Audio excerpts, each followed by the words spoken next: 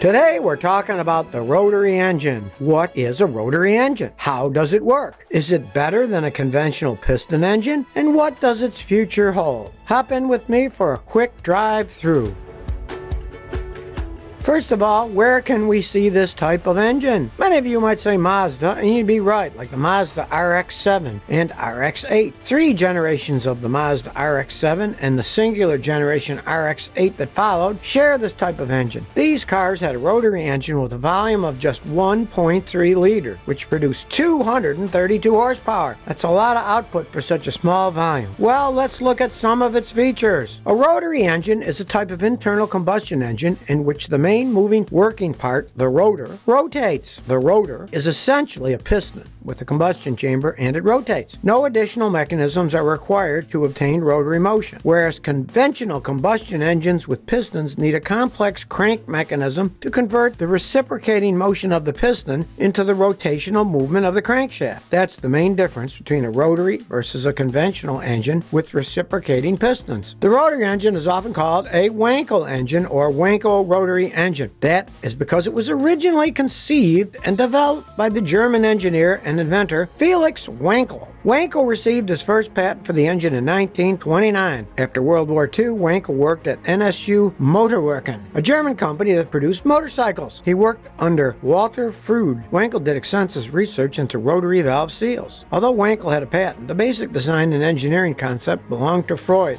The first engine had a rotating chamber and a stationary rotor. There were some limitations to that design. So this led the team to change the circuit. The first rotor engine began operating in 1958. After NSU Motorwerkens announced it had created a new and promising engine, many big-name car companies started licensing design to produce rotary engines. We saw the results led with the Chevrolet Aerovette XP895, Chevrolet Vega, Mercedes C111, Citroen M35, and luxurious Citroen Citroen GS Birotor GZ. Believe it or not, a third of the licenses ended up in Japan. The toughest Japanese company to make rotary engines turned out to be Mazda. So how does a rotary engine work? Unlike a traditional piston engine, a rotary engine doesn't have a gas distribution system or crank mechanism. Their functions are taken over by the eccentric shaft, and the rotors act essentially like pistons. And stationary gears set the path of the rotation of the rotor. The base of the motor consists of an intermediate casing, which is located in the middle of the motor and stator, which form the working chambers. The rotors themselves are located in the stators. The entire engine structure is covered by the front and rear housing, in which the stationary gears are fixed. It's along these that the rotors rotate. The whole engine is pulled together by long bolts. Overall, it's a rather simple design, not complex. The design is based on a triangular rotor which has convex edges or faces. The rotor rotates in a planetary manner around a stationary gear that acts as a stator. When the apex of the rotor triangle rotates, it moves in a pattern like a complex curve within the shape of the working chamber, inside which the air-fuel mixture is ignited. Also, in the walls of the rotor are recesses that form the volume of the combustion chamber. The absence of a gas distribution system helps simplify the design. And a high power density is achievable even with a small and light engine because it lacks the crankshaft, connecting rod, and other interfaces between the chambers. So the rotary has less moving parts than a reciprocating engine. In fact, it's about 35 to 40% less parts. If we were to compare the dimensions of a rotary versus a piston engine with the same power, the latter would be twice as large. So a car with a rotary engine is easier to accelerate and it's smooth. Plus, the rotary engine doesn't suffer a lot of stress at high RPM, even if the car is accelerating to speeds over 60 mile an hour in low gear. A car with a rotary engine is also easier to balance and has better handling. Even the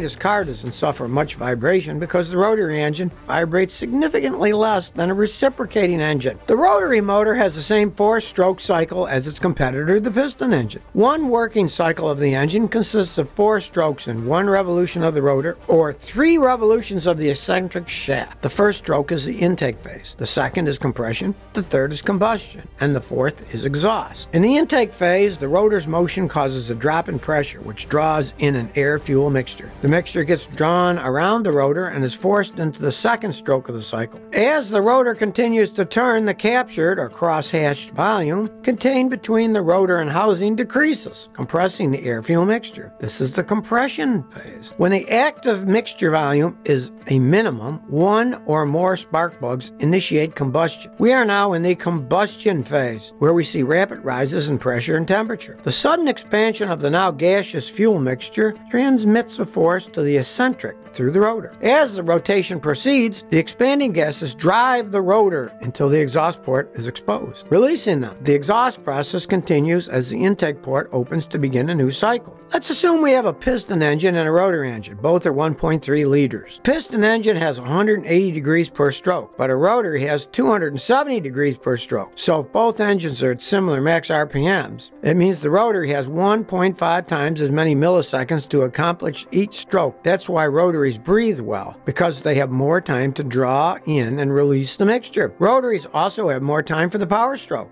so it can get the most out of the combustion gas, especially at higher RPM. A 1.3 rotary delivers one and a half times the power and torque of a like-sized conventional engine. So it's like a 2 liter piston engine. Here's why. The rotor has three edges or flags, so one rotation of the rotor produces two times as many power pulses as a one cylinder reciprocating engine. But there are drawbacks too. The rotary also has one and a half times as many milliseconds to transfer heat from the burning mixture into the oil and water. That's why rotaries waste more heat in the process to stay cool themselves. Another disadvantage to the rotary engine is its small resource because of its engine design. A rotary can last as little as 30,000 to 125,000 miles, or an average of 65 to 70,000 miles. A car with a rotary engine makes a good weekend car. That's because there are multiple sealing elements on the rotor to isolate the combustion chambers. The main ones with the most load are the apexes, which are installed on the rotor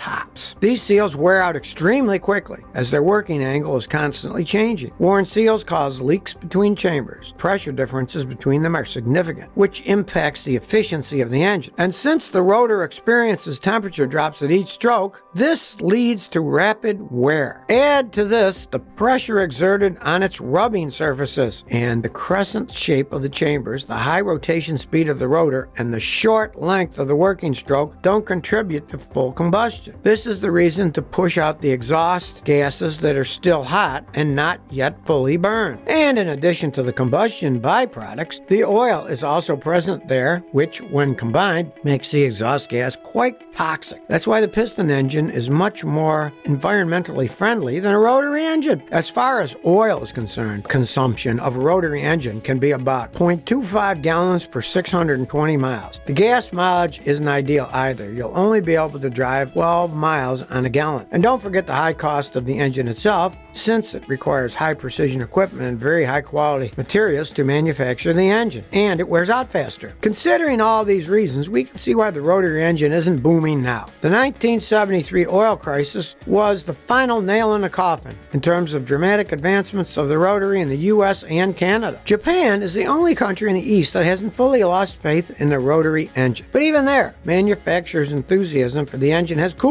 which is why there hasn't been much noteworthy developments thereafter. Mazda is the last one to hang on to it, and here's an interesting story and controversy around the Mazda RX-7. Kenichi Yamamoto was responsible for the development of rotary engines in Mazda, especially the Mazda RX-7. He led the Mazda development team the goal to make the Wankel engine more reliable, and this was back in 1961. Surprisingly, the engine saved the whole company in its day. In the early 60s, the Japanese Ministry of International Trade and Industry, MITI, feared that the Japanese auto industry might collapse and found it necessary to limit the number of local car companies. MITI approved Toyota, Nissan, and Isuzu, but not Mazda, which was known as Toyo Kogyo at the time. But Mazda was able to demonstrate that their rotary engine technology has unique and viable reasons to be built for the international market. So MITI agreed, and Mazda continued working. With the resounding success of the RX 7, Yamamoto became president of Mazda. Under his leadership, most unusual models rolled off the assembly lines, the culmination being a stunning rotary victory by a Mazda 787B sports car at the 1991 Le Mans. It was the first victory for a Japanese manufacturer and the only such victory until Toyota won the 2018 24 Hours at Le Mans. Since 2004, the sales of the sports coupe started its decline. In 2004, some 25,000 cars were sold, but by 2010, less than